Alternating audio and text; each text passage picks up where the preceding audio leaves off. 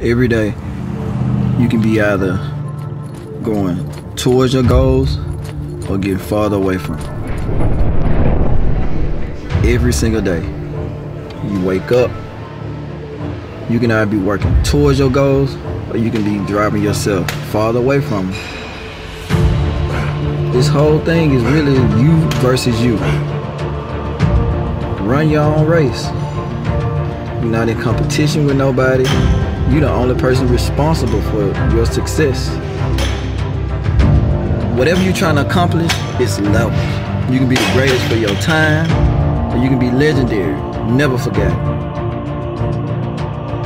It's all in how far you want to go with it. Cause they already left a stamp. How you gonna leave your stamp? It's all on you. Run your own race. You versus you.